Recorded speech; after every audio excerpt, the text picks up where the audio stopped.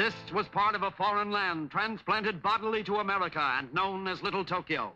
Since a wise government rounded up the shifty-eyed Japs, it has become virtually a ghost street where only one business survives, eking out a precarious existence on the dimes of curiosity seekers. Now, this exhibit, my friend, was created by artists that know. Artists who have created some of the finest wax exhibits in all of England and France. Now,